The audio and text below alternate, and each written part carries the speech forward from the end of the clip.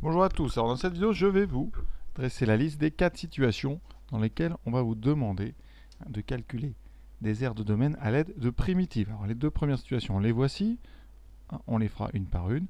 Donc je vous donne l'expression d'une fonction, ici au-dessus, et on va calculer l'aire du domaine assuré ici sous la courbe. Premier cas, la fonction est positive. Deuxième cas, la fonction est négative. Et les deux autres cas, donc ici une fonction qui est d'abord négative puis positive. Et on va calculer la somme des deux aires ici assurées.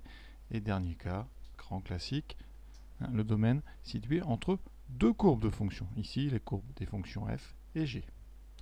Pour la première R, la propriété qu'il faut connaître, c'est que si f est continue et positive sur un intervalle AB, l'aire en unité d'aire du domaine sous la courbe sur le segment AB, c'est l'intégrale de AB de f de x dx. Donc ici, eh bien, nous aurons l'intégrale de 1 à 2 de f de x dx, puisque, on ne va pas le démontrer, mais on voit sur la courbe qu'on nous fournit que la fonction est positive sur cet intervalle. Ici, ça donnera donc l'intégrale de 1 à 2, f de x dx, qui donne l'intégrale de 1 à 2, donc de x3 moins 2x2 plus 4 dx.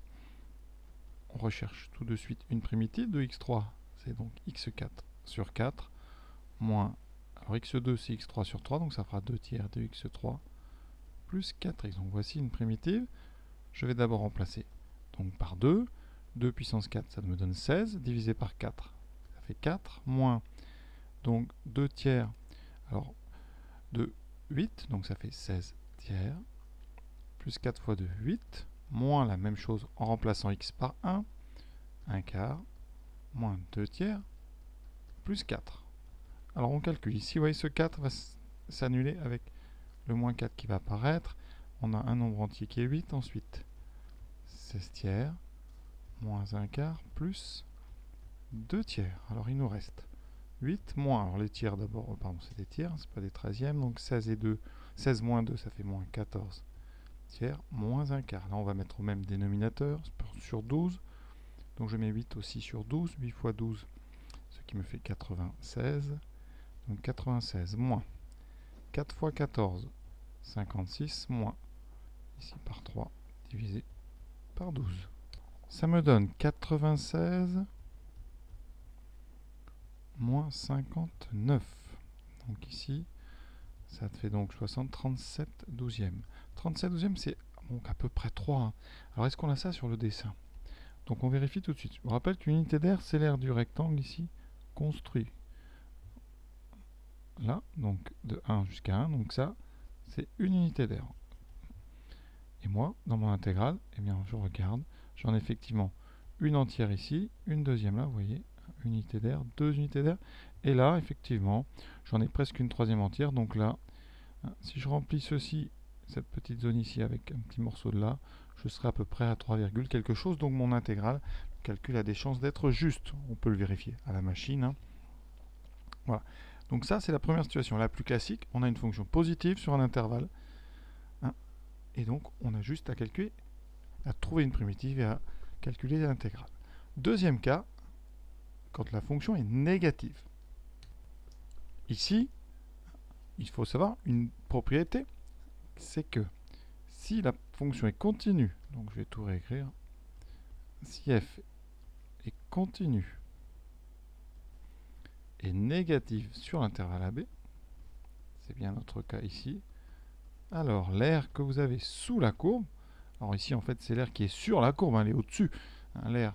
Donc en unité d'air du domaine, du domaine, alors on va pas mettre sous la courbe, on va mettre du domaine entre CF et l'axe des abscisses, eh bien l'air, ça ne peut pas être l'intégrale. Parce que si vous calculez l'intégrale d'une fonction négative sur un segment, vous obtenez l'intégrale négative. Donc ici, eh bien, on aura une propriété qui nous dit que l'air vaut moins l'intégrale de A à B. De f de x dx. Alors vous pouvez, si vous voulez, inverser les bornes moi, j'évite de le faire. J'essaie toujours d'avoir au maximum des intégrales avec ici des bandes rangées dans l'ordre pour vraiment être sur un segment. Donc, dans notre exercice, ça nous donnera ceci. Moins l'intégrale entre 0 et 3 de f de x ou l'intégrale de 3 à 0. Ici, je vais tout de suite appliquer. C'est donc moins l'intégrale de 0. Ah, ici, donc on est de 0 l'air grisé, c'est de 0 jusqu'à 3. Donc de exponentielle moins 2x plus 1 moins 4 dx. Alors on met des parenthèses qui ont vraiment une petite ambiguïté sur l'écriture. Ici, il me faut donc une primitive d'exponentielle moins 2x plus 1 moins 4. Alors exponentielle moins 2x plus 1, c'est sous la forme u' e de u avec u qui vaut moins 2x plus 1. Donc la primitive, c'est moins 1 demi exponentielle moins 2x plus 1. Vous voyez bien, si je dérive, j'ai un moins 2 qui va sortir du u', qui va donc annuler mon moins 1 demi. Ensuite, j'ai un 4, donc ça fera moins 4x. Ceci entre 0 et 3. Je remplace donc d'abord par 3. Je fais très attention à ce moins qui est devant. Donc moins 1 demi exponentielle moins 6 plus 1, donc moins 5. Moins 4 fois 3, 12. On aura moins, et avec le moins, ça m'en plus la valeur en 0. En 0, j'obtiens moins 1 demi exponentielle, donc 0 plus 1, donc exponentielle 1, moins 0. Cela donne donc, alors ici on développe, on aura 12, moins 1 demi de e, plus 1 demi de e puissance moins 5. Alors, e puissance moins 5, c'est très petit, on va le négliger. e, c'est 2,7, donc 1 demi de e, vous êtes à moins 1,3,5 à peu près, donc on enlève ça à 12, on arrive sur moins 8,5. Alors on va compter. Ici, mon unité d'air, vous voyez, alors je vais la faire en dehors, c'est donc, euh, pardon, ici elle est très bien, voilà, ce rectangle ici, c'est, il équivaut à une unité d'air. Donc je compte 1, 2, 3, 4, 5, 6, 7, 7 entiers, 8, 9, donc là on est sur 9 déjà, 9, 10, on a à peu près 10 et demi. Alors est-ce que notre calcul est bon? On va regarder. Hein. Donc effectivement, alors j'avais peut-être dit des bêtises, on a 12 moins 1,3, oui on est plutôt à 10,3, donc on est pas mal du tout. Hein. On a bien 1, 2, 3, 4, 5, 6, 7, 8, 9, 10 à peu près 10 et demi, donc voilà, ça doit être bon. On va donc valider ce calcul. C'est important que vous compreniez qu'à chaque fois qu'on intègre comme ça des fonctions qui ont des signes constants, on tombe hein, soit sur une aire, évidemment, soit moins l'air. Ici, comme on a enlevé le moins, rajouté un moins, on tombe vraiment sur un nombre positif. C'est l'air que vous avez entre la courbe et l'axe des abscisses et les deux verticales, hein, en 0 et en 3. Voilà, ça c'est vraiment les deux cas classiques. Maintenant, que se passe si votre fonction change de signe en plein milieu de l'intervalle sur lequel vous intégrez? C'est très simple, à condition d'avoir fait une étude de signe avant et de savoir que ici la fonction est négative avant 1 et positive entre 1 et 3, et eh bien on va utiliser la relation de Schall qui permet bien de couper l'étude en plusieurs. L'air grisé, hein, si vous voulez l'air ici, elle va être égale à l'air que je vais assurer ici en rouge, vous voyez. Hein, donc c'est l'air 1. Et ensuite, il faudra lui ajouter l'air ici qui est en vert, que je vais appeler l'air numéro 2. Donc, l'air, elle va être l'air A1 plus l'air A2. Donc, eh bien, on va utiliser les deux propriétés qu'on a vues précédemment sur l'intervalle donc 0,1, c'est-à-dire l'air A1. On a une fonction qui est négative. Donc l'air A1, c'est moins l'intégrale de 0,1 de f de x dx, parce que sur l'intervalle 0,1, la fonction est négative. Sur A2, on est sur une zone où la fonction est positive, donc l'air sera tout simplement l'intégrale directement de f de 1 à 3. Vous voyez? Et donc on a coupé le problème en deux. On applique une fois la propriété sur les fonctions continues positives, une deuxième fois sur les fonctions continues négatives. Voilà. Donc ces deux intégrales un petit peu différentes. La primitive, on va choisir la même. Hein. La fonction ici n'a pas changé. C'est toujours moins x2 plus 4x moins 3. Donc la première, on aura... Donc, euh, pardon, c'est pas encore fait la primitive. Donc ici, j'aurai donc une première primitive donc de moins x2 plus 4x moins 3, c'est-à-dire moins x3 sur 3 plus 4x2 sur 2 moins 3 x entre 0 et 1 avec un moins devant plus la même primitive plus 4x2 sur 2 moins 3x mais entre 1 et 3 alors attention dans la première on va commencer par le 1 donc avec le moins la valeur en 1 sera avec un moins, alors que dans l'autre, elle aura aussi un moins. Donc elles vont s'ajouter. Donc on ne peut pas simplifier le calcul mieux. Donc ici, premier crochet, je remplace par 1, moins 1 tiers. 4 sur 2, ça fera 2, moins 3. En 0, il ne me reste rien, donc ça va très vite. plus mon deuxième crochet, donc d'abord en 3. Donc là j'ai mis un moins, ça sera plutôt donc ici, je remplace par 3, ça fait moins 27 tiers, ça, ça fera moins 9, plus, donc ici on a 2x2, hein, le 4 et le 2 se simplifient, donc ça fait 2 fois 9, 18, moins 3 fois 3, 9, et je remplace par 1, alors là je mets des parenthèses pour ne pas me tromper, ça m'arrive souvent, dans ce genre de choses, quand on va aller trop vite, il faut se méfier. Voilà, on remplace par 1, on n'a plus qu'à calculer, il y a beaucoup de choses qui se simplifient. Donc, il reste, alors ici, moins, donc ça fera 1 tiers. 2 moins 3, ça fait moins 1, ça fera plus 1. Alors là, 27 tiers, ça fait 9, donc tout ça, ça se simplifie, parce qu'on a 18, et ici, moins 9, moins 9. Plus 1 tiers, 2 moins 3, moins 1, plus 1. Il me reste donc 2 plus 2 tiers, ce qui fait, donc en mettant tout sur 3, si c'est 2, 8 tiers. 8 tiers, donc à peu près 2,66. On va regarder notre R ici, voir si ça correspond. Alors l'unité d'air, vous la voyez, hein, toujours ici, donc ce rectangle-là. Alors parfois c'est difficile à évaluer, hein, c'est vraiment...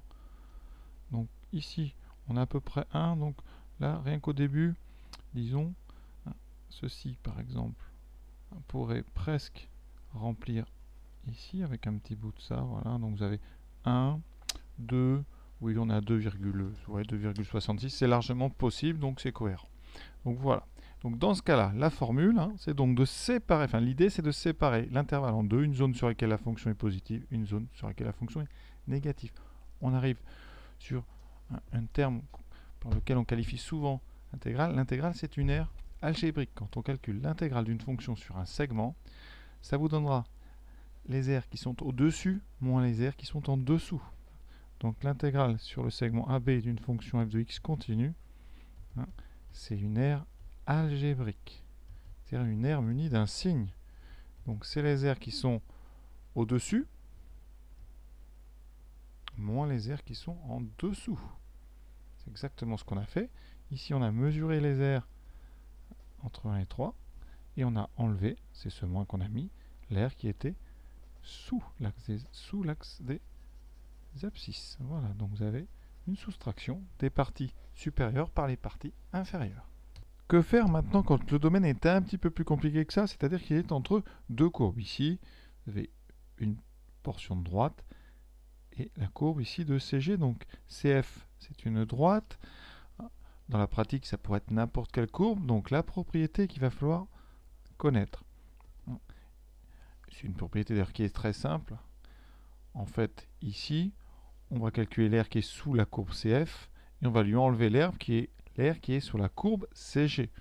C'est-à-dire que tout le trapèze ici, voilà, vert, hein, je vais montrer ça une fois, c'est un trapèze pour la courbe est droite, voilà. Cette zone-là ici, son air, vous savez la calculer, c'est avec l'intégrale d'une fonction positive. Ensuite, eh bien, vous faites pareil avec la courbe qui est sous, avec l'air qui est sous la courbe de G, et vous faites la soustraction entre ces deux intégrales. Donc la propriété qu'il va falloir retenir, c'est que hein, si f est plus grande que g sur l'intervalle AB, alors eh bien l'air en unité d'air entre les deux courbes, eh bien, elle aura pour valeur, donc elle vaut l'intégrale de AB de f de x dx moins l'intégrale de AB de g de x dx. Et grâce à des propriétés de l'intégrale, eh on peut réunir ces deux intégrales sous forme d'une seule intégrale, l'intégrale de la soustraction f de x moins g de x, ici donc dx. Donc voilà comment on va faire. On est parti avec cet exemple, avec donc f qui vaut x plus 2. Vous voyez bien que x plus 2 c'est une expression affine, voilà pourquoi la courbe était une droite et g de x c'est x carré. Donc l'air assuré sur ce dessin, comme la fonction f est bien plus grande que la fonction g, on a donc l'intégrale de moins 1 à 2. Le plus important, c'est toujours de mettre les bornes ici dans l'ordre croissant pour avoir vraiment un segment. Moins 1 à 2, alors on va faire qu'une seule intégrale. On va faire f de x moins g de x, c'est-à-dire x plus 2 moins x carré. Toujours la fonction la plus grande moins la plus petite. Maintenant, on est sur un travail de primitive. Primitive, donc de x on peut prendre x2 sur 2, plus 2x moins x cube sur 3 entre moins 1 et 2. Alors comment, combien on doit trouver? On le sait à peu près, puisque l'unité d'air, c'est le rectangle. Donc vous avez ici donc unité d'air. Ensuite, bon là on va faire du à peu près. Si vous assurez ça, vous pouvez lui rajouter ça, vous aurez à peu près 2. Ensuite ici, vous avez une moitié. Voilà, on est à peu près à 3. Bon, on va dire que ça et ça, ça fait 4. Donc on est à 4,8. Donc on est à peu près à 5. on va trouver à peu près 5. Donc on va tout de suite regarder ça. On pourrait le faire à la machine, hein, mais bon. On va se faire confiance. Ici, donc le carré 2, 4 sur 2, 2. Plus 2 fois 2, 4. Moins 8 sur 3. Moins la valeur en 1. 1 demi. Plus 2, moins 1 tiers. Va-t-on trouver quelque chose de proche de 1 De 5, ça fait donc 4 et 2. 6 les entiers, on a donc 6 moins 2, 4. Les fractions, j'ai un 8 tiers, j'ai un moins 1 demi, j'ai plus un tiers. Donc, 4 moins 1 demi, ça fait donc 7 demi. Et les tiers, on en a moins 7 ici. Donc, 7 demi moins donc 7 tiers. Ici, on va vérifier. Ça m'a l'air bizarre. On n'est pas du tout sur ce que annoncé. Donc, on va vérifier. Donc, ici, on remplace 2 au carré 4 sur 2, ensuite 2 fois 2, 4, 2 au cube ça fait 8, moins 8 tiers, c'est bon, ensuite moins 1 demi, plus 2, moins 1, ah, voilà, l'erreur je l'ai trouvée, ici. Vous voyez j'avais oublié le moins 1, donc faites très attention, toujours vérifier quand même, ça va changer quoi? Eh bien ça va changer ici, quand on remplace, eh bien deux choses, hein, le x carré ne va pas changer, par contre vous aurez moins 2, et vous aurez plus 1 tiers. Ceci va donc changer notre deuxième partie. Voilà. Donc, on n'aura plus non plus ben, tout le 4. Oui, j'avais commencé. Voilà. Ça donne 2 plus 4, 6 et 2, 8. Moins 8 tiers. Moins 1 demi. Moins 1 tiers. Donc, 8. On va tout mettre d'abord sur 2. On moins 1 demi. Ça fera donc 15 demi. Et ensuite, moins 7 tiers. Donc maintenant sur 6, 45 moins 14 sur 6, ça fait 31 sixième. Et effectivement, on est à peu près à 5,16, etc. Donc voilà, c'est ce qu'on avait annoncé. On peut se faire confiance. Donc on a à peu près 5 unités d'air. Donc voilà comment on va faire toujours. Alors ça marchera aussi si les fonctions hein, sont négatives. Il hein. faut juste trouver laquelle des deux est la plus grande. Voilà. Donc je vous laisse. Voilà à peu près les quatre situations que vous pourrez trouver. Alors si les courbes se coupent, hein, si vous avez comme ça une courbe et une qui s'entrelacent, hein, évidemment eh vous allez couper par intervalle. Hein. un premier intervalle où par exemple la courbe rose sera au-dessus. Voilà, avec ce terme. Ensuite, une deuxième zone où elle sera en dessous. Donc vous adapterez à chaque fois en prenant eh bien, la soustraction avec la première fonction la plus grande en premier et moins la plus petite. Voilà. Hein, et ça toujours grâce à la relation de Schall. Alors sur les épreuves de bac, on a rarement comme ça hein, des, entre, des courbes qui s'entrecoupent comme ça. Vraiment, ça reste assez simple. Voilà. J'espère que vous avez bien compris. Je vous souhaite une bonne fin de journée. À bientôt.